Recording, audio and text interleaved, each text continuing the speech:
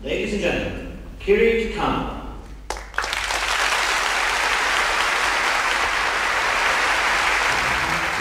But please, call me Kiri. I feel pretty, oh so pretty. I feel pretty and witty and bright, and I pity any girl who isn't me tonight. Good singer, that girl.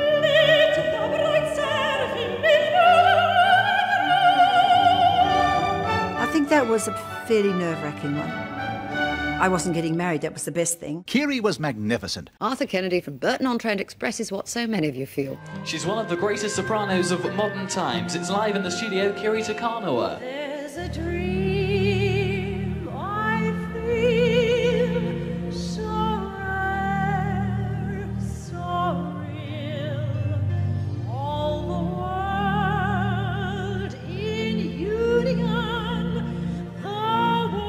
I love to see that all that old footage. If I look back, what you have is snippets of, of my life, I suppose.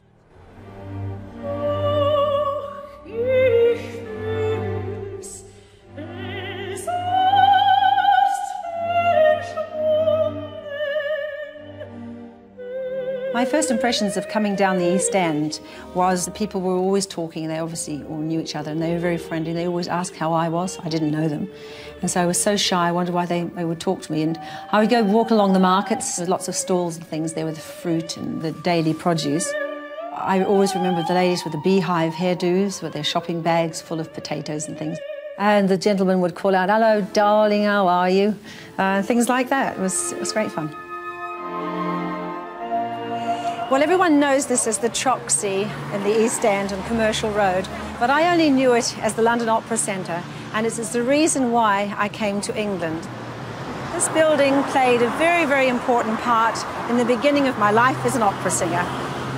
In fear and trembling, I came through those doors in 1966. I was a terrified little bunny rabbit, and I wanted to go back home for Christmas because I was so lonely. Well, it's about um, 20 years since I've been to this place, um, the old Troxy, and I can't imagine what it's going to look like.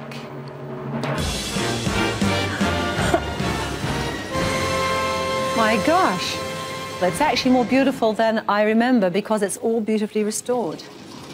Down here is where we used to rehearse The Marriage of Figaro. This was the first big opportunity I had to do a major, major role. I suppose it was actually the only role that I knew, so I was rather stuck with The Countess and The Marriage of Figaro. And after that, I had to start uh, learning all sorts of other roles, and so it was the sort of real bouncing board for me to start onto an international career.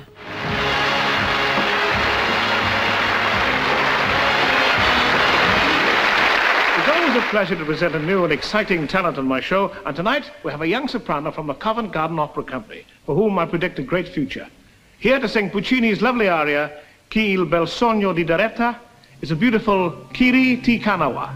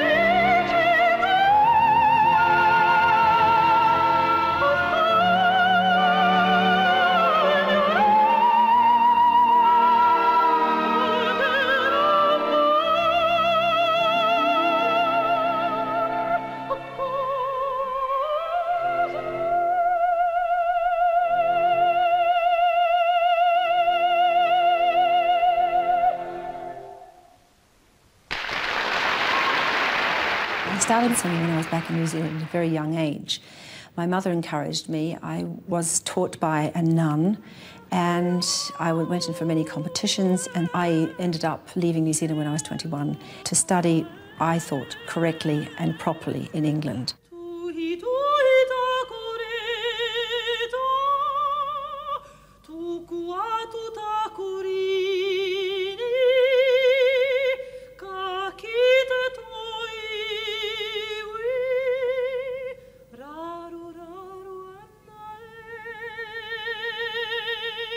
Natural, laughing girl singing a folk song of her people and happy out of doors.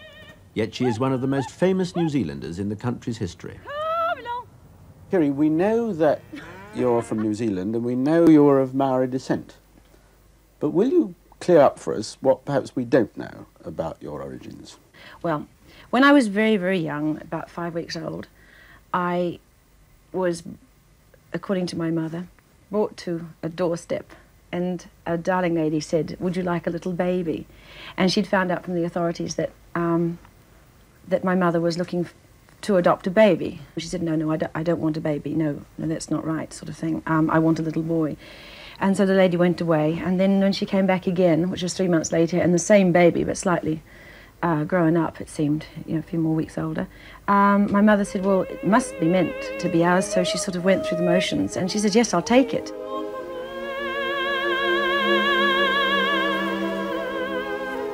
I had so much love from my parents. They gave me everything they could possibly give me.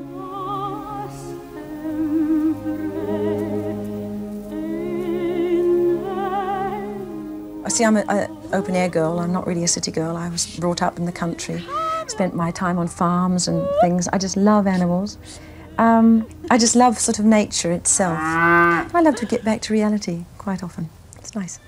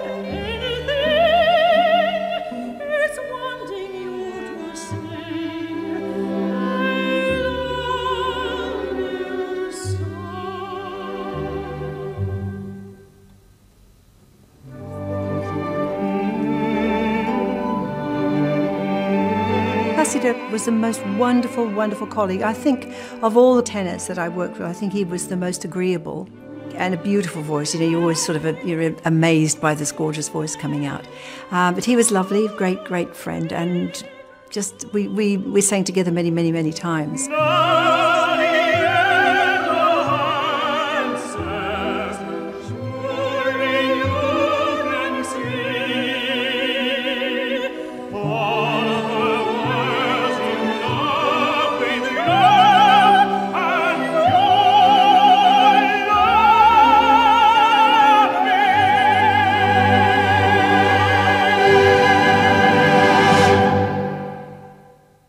So you sing with Domingo, so what, you know? he sings with me. Well, here we are at uh, Wentworth in Surrey, one of the world's most famous golf courses, scene of many a classic encounter in its time, and here we have another one for you just at this moment. Well, not bad for a beginner.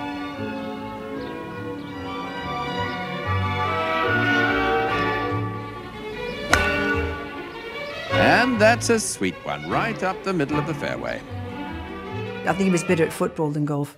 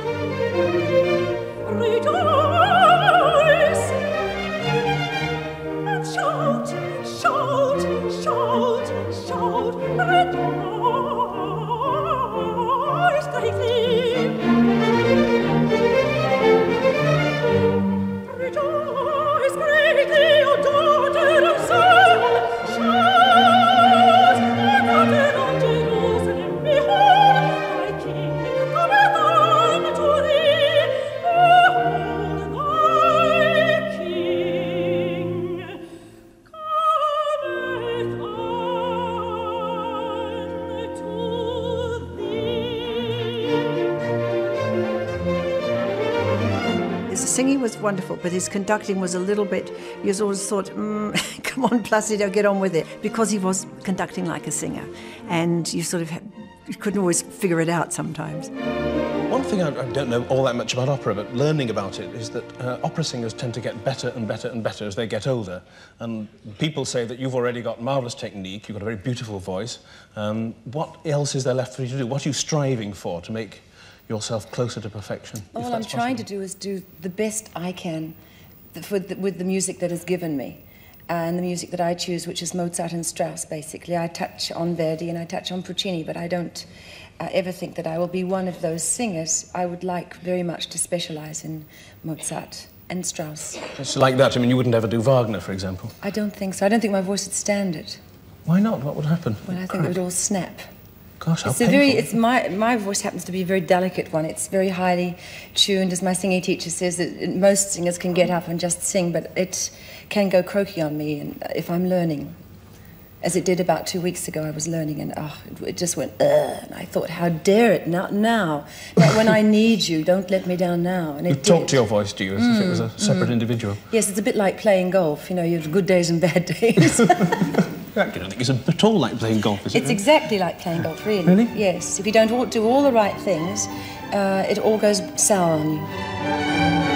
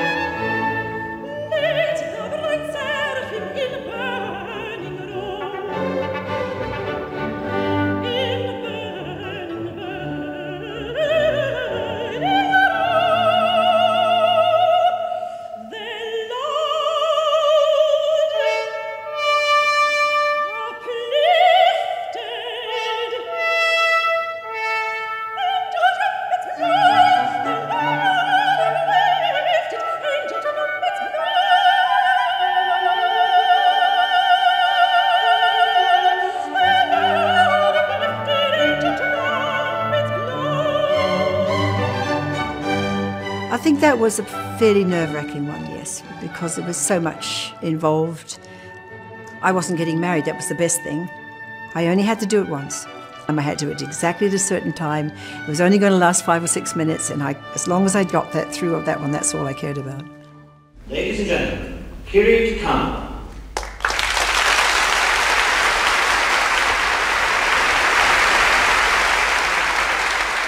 But please, call me Kiri.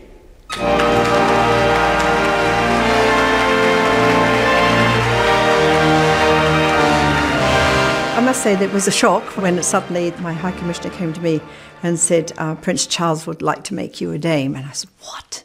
You're joking. And of course, I remember it being on the news, they say, Well, you know, she's not even in the sort of international who's who. And I accepted because I was very thrilled to do it.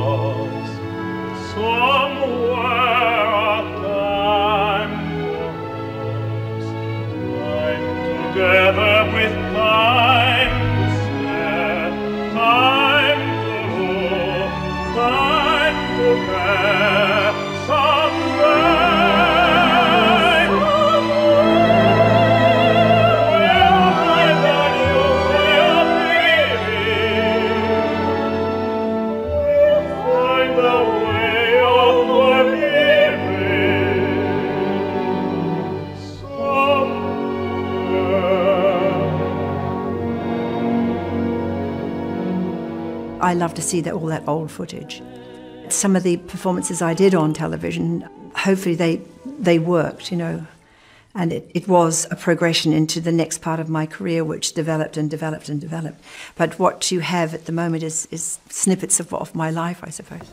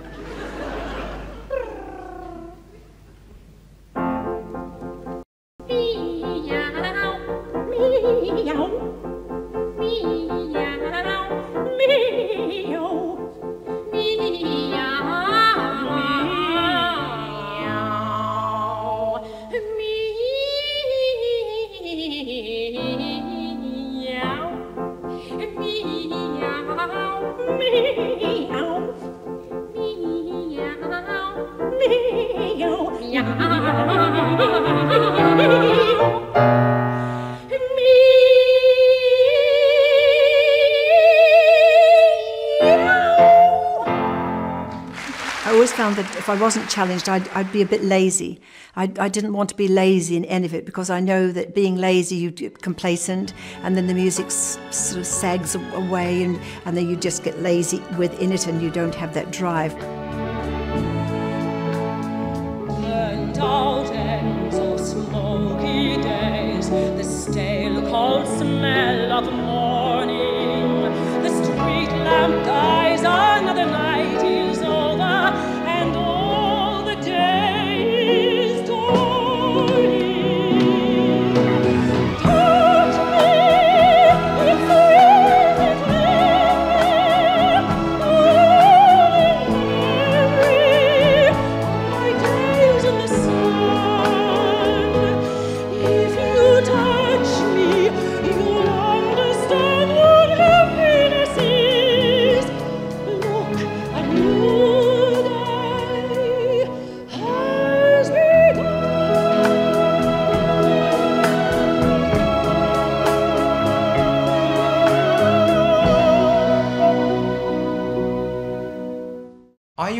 frightened by the fact that you have achieved so much success at such a relatively young age?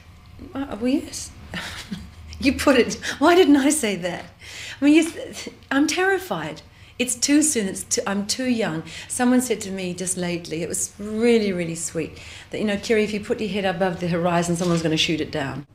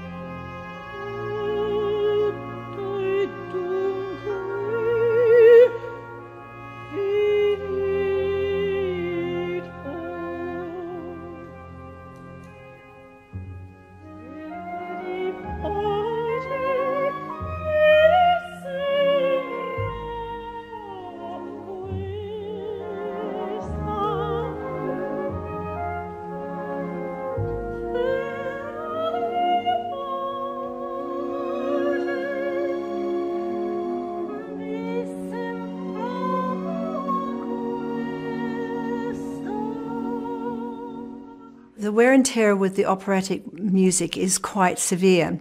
And so I, I decided to do uh, um, concerts to, to try and keep my voice in a good shape.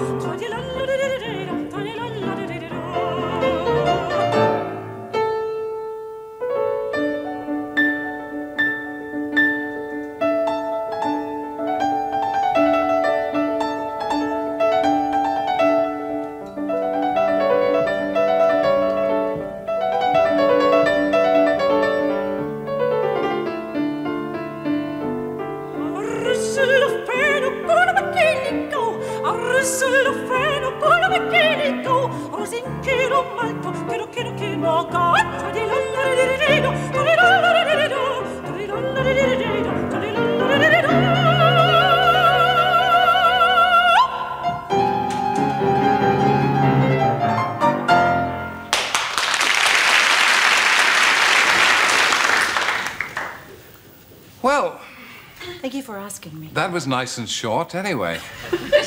what, what, what was that? Well, it was a funny little song, and it, it really means on the short side of it um, unlucky is the man who doesn't have a wife, and equally unlucky is the man who does have a wife. Shrewd thinking by the Auvergnois, I would have thought.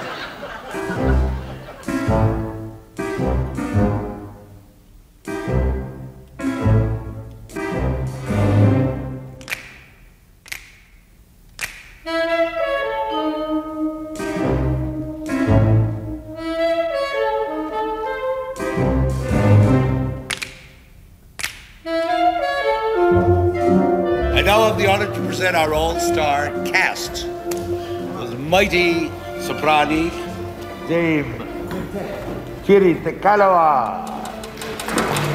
Where are they? That's the wrong lady. There she is. I remember the very first rehearsal we did.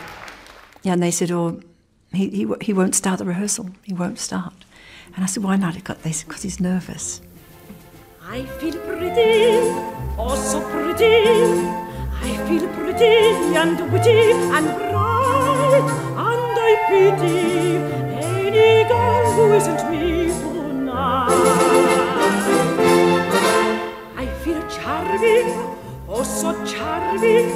It's alarming how charming I feel. I'm so pretty that I hardly can believe I'm real.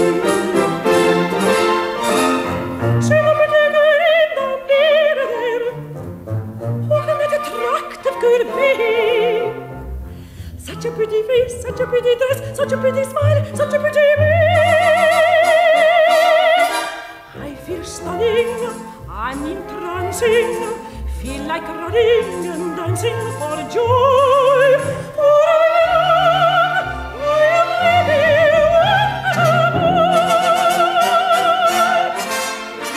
He's a man of many emotions, you know, ups and downs and lowers. And, and to see that coming from a conductor, when conductors are very serious people. You see a tired, aging maestro, where yesterday you saw a tired, aging maestro, but less tired, less aging. But to see it, this sort of animal working is is quite amazing. You can see his moods from time to time. You see his his frustrations, his happiness, his glee, his his wanting to perform to people. Um, that's the thing that makes the man interesting. You one is constantly trying to read him, but really he's on another planet. He's on a planet that no one can touch. The man is just brilliant.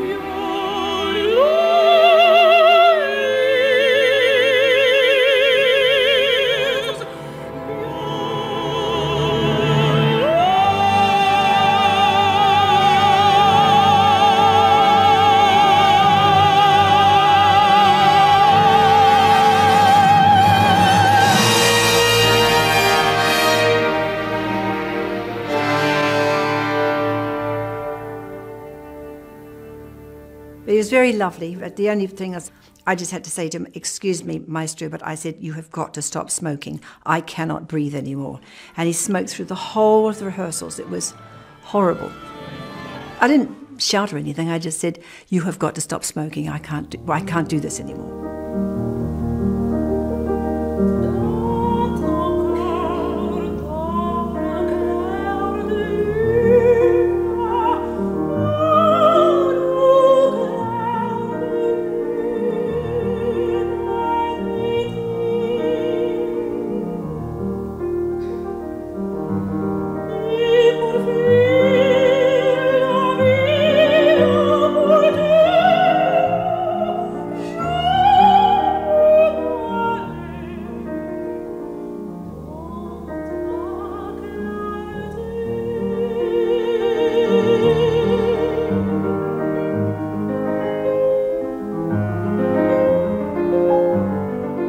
Known Roger for very, many, many years, and he, I think, is, is a great accompanist, a great colleague, and great support.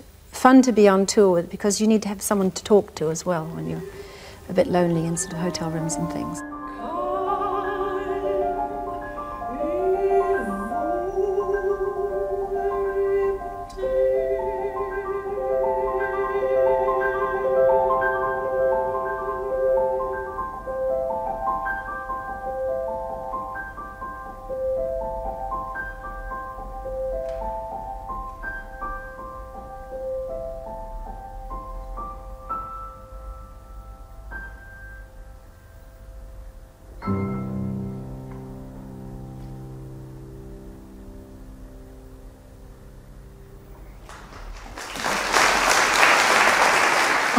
Henri Duparc's L'Invitation au Voyage, sung by Kiri Te Kanawa, accompanied by Roger Vignoles. You haven't always been a classical singer. You can't start as a classical singer. You must have as a kid. Presumably that's more or less as you sang. Well, I, that's yes, that's what I did naturally. Um, I was just given the opportunity to sing classical music only, and became an opera singer and, and classical singer, and still am. I didn't change. I was just given an opportunity to have a little diversion. The rain in Spain stays mainly in the plain. I think she's got it. I think she's got it. The rain in Spain stays mainly in the plain. By George, she's got it. By God, she's got it! Kiri was magnificent. Jeremy was magnificent. Arthur Kennedy from Burton-on-Trent expresses what so many of you feel. An evening with Kiri Te Kanawa with songs from My Fair Lady, a superb production which brought all the atmosphere straight into my living room. This was a classic in entertainment. And Arthur sums up the whole programme by exclaiming, I could have watched all night. I'll see you next week and leave you in the company of Kiri. Oh, and by the way, male viewers, some more letters, please. Good night.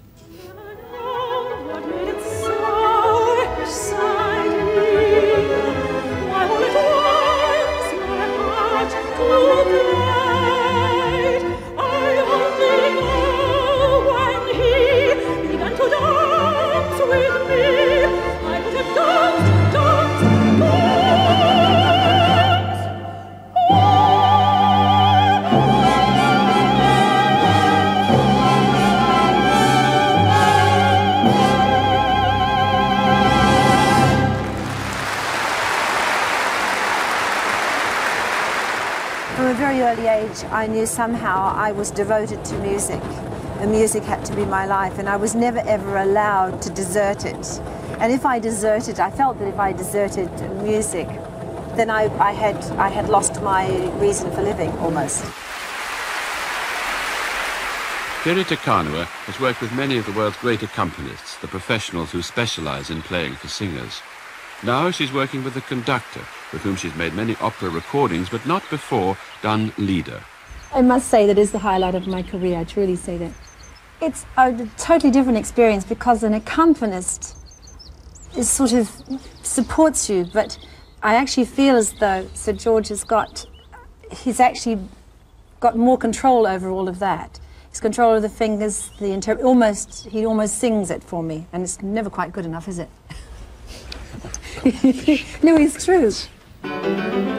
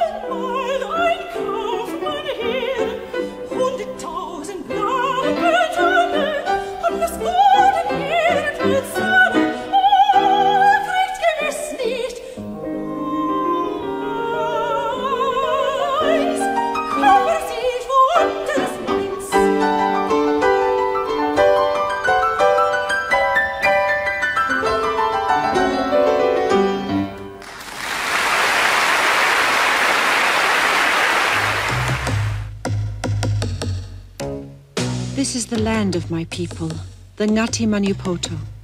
Lying in the heart of the North Island, it forms part of the King Country province. During the wars of the 1860s, thousands of Maori lives were lost trying to protect this land. To we Maori people, without land, there is no soul, no mana. Here in the Maniapoto are my ancestors. In Gisborne, I wanted to show my children the old family home where I was brought up. And all that's left now is this parking lot. Whenever I could, I'd escape to the beach at the bottom of our road and run round to the wharf for mussels or go swimming with my friends. But I never saw this racehorses training in the surf. Return to this beach after 20 years of not visiting it is rather sad, but also very rewarding because my life has changed quite considerably over the last 20 years. And I find to come back here, it hasn't changed. And it's rather wonderful that throughout our life, can we go back somewhere and say, you haven't changed at all. How the, uh, how the audition's going? Very good. Just you sit tight there, you are. Next, please.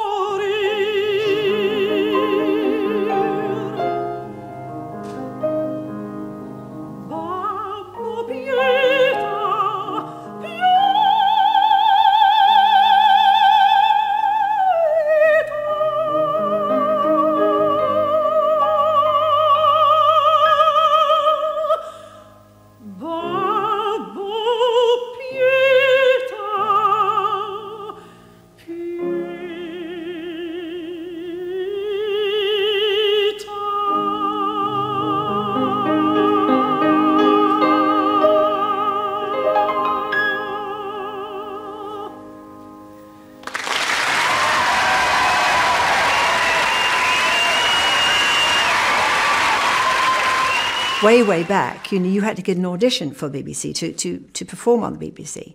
And more often than not, some of the greatest singers were turned down by the BBC. But if you got a job and it included a broadcast, basically that was your audition.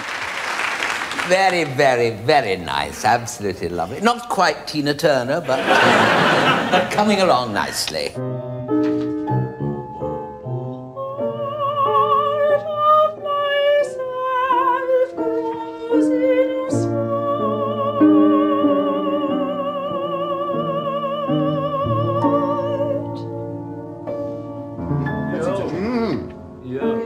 Big thrill seeing these little black dots turn into actual beautiful notes and just seeing how she controls her voice, you know.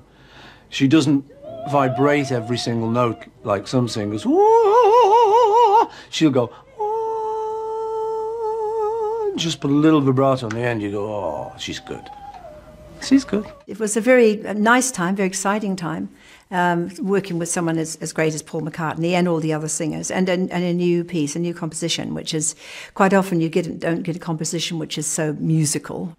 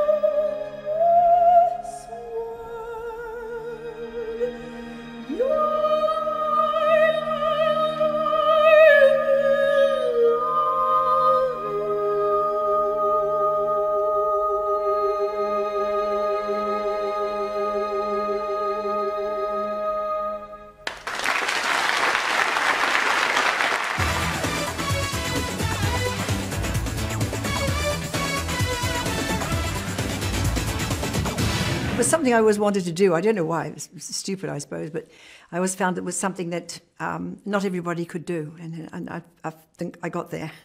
She's one of the greatest sopranos of modern times. It's live in the studio, Kiri Te Kanawa.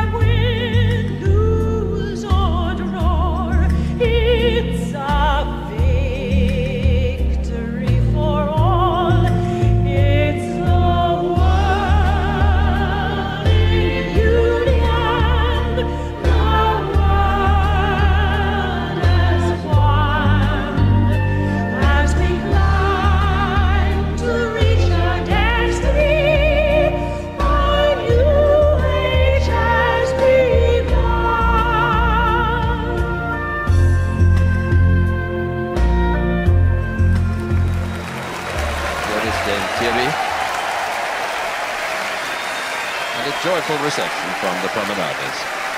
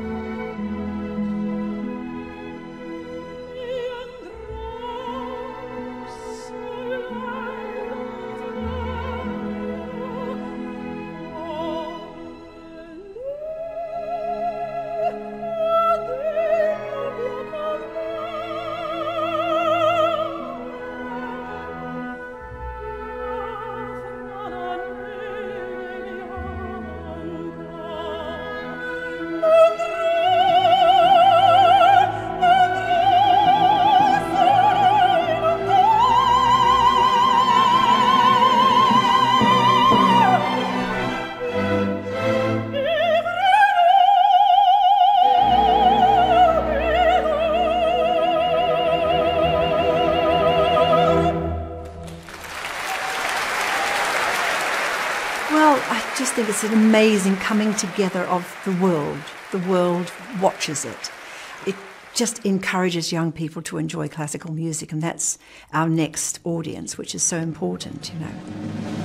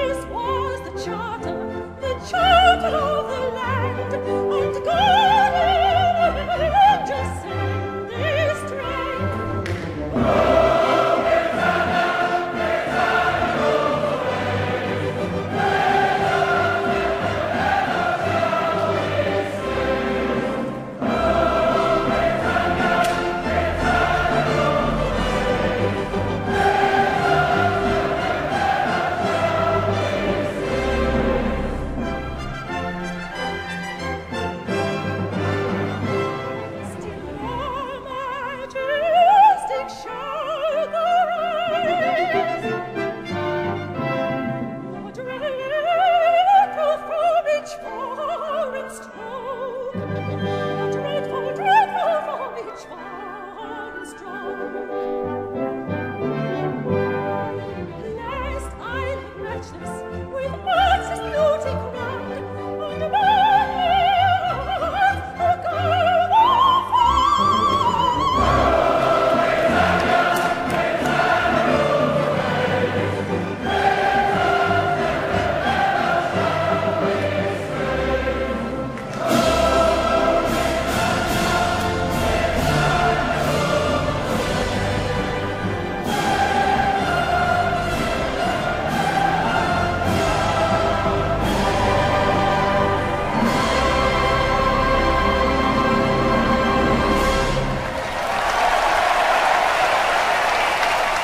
Do have those wonderful performances with fabulous colleagues and making great music. And I think that's what it's all about. It's all about the joy of being able to sing and perform at the highest possible level. And I must say that um, it is for the sheer love of music that I say to you if you want to be an opera singer and you have these opportunities, then you have to go for it.